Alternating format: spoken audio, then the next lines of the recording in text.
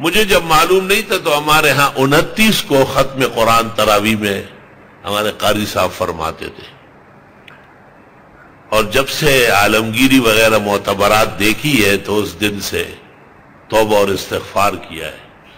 اور میں نے اعلان کیا اور جمعوں میں اور ہر درس میں بیان کیا کہ نہیں، یہ جو سنت ختم ہے، جو علا وجہ سننا ہے اور محراب میں ہے اور محلے کی جامع مسجد میں ہے یہ ستائیس کو ہی ختم ہونا چاہیے، کیونکہ انہا ارجا للیلت القدر۔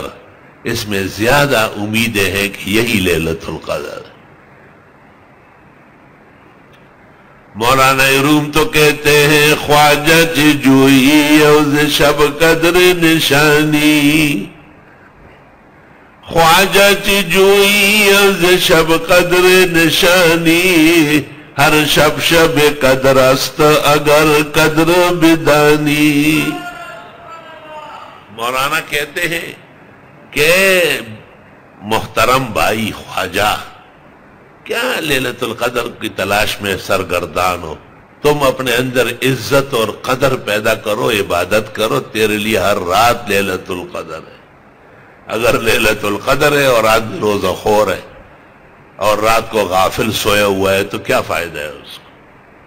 مطلب یہ ہے کہ اللہ کی عبادت، اللہ کی تابداری اللہ کے احکام کے اطاعت ہم وقت، ہم زندگی فرض ہے۔